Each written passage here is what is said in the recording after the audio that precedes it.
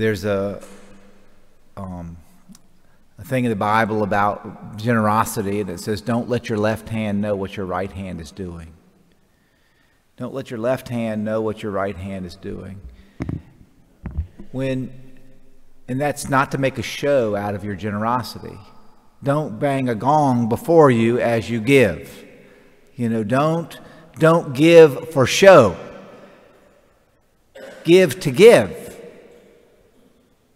give as an expression of, of your gratitude for all that God has given to you. We have a number of challenges that seek to undermine our acts of generosity. And one of them is highlighted in the gospel today. Whether we're conscious of it or not, whether, we, whether it's a deliberate thing or, or part of our scheme or plan.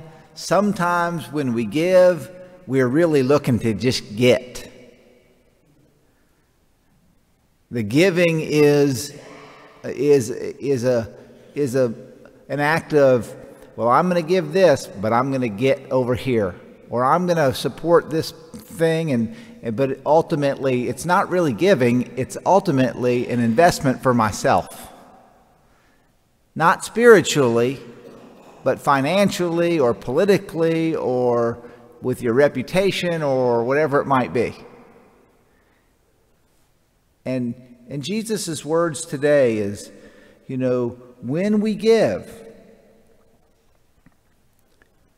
make sure or strive that you're not giving so you get repaid. And then it's not really giving. Now, let me promise you something. I promise you, you cannot outgive God.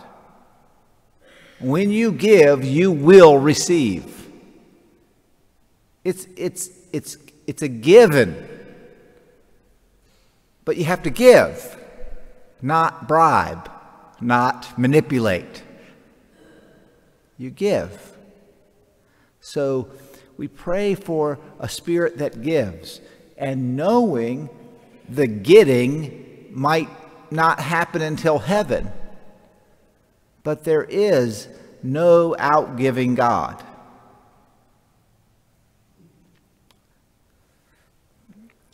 I, uh, I remember, you know, a, a, an, an event in my own life where I really felt like this is way back a long time ago when I first kind of began to you know, tithe, if you will.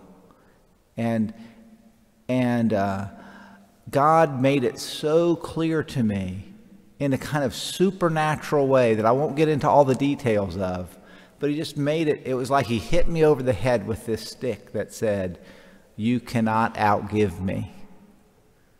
It can't be done. And, uh, and so we pray today for a purity in our giving a purity in our generosity, a purity in our charity, that we truly are givers. And, and I reiterate the fact that you can't outgive the giver, but don't try to manipulate him and don't try to bribe him. Just give and let God give back to you in the way he chooses.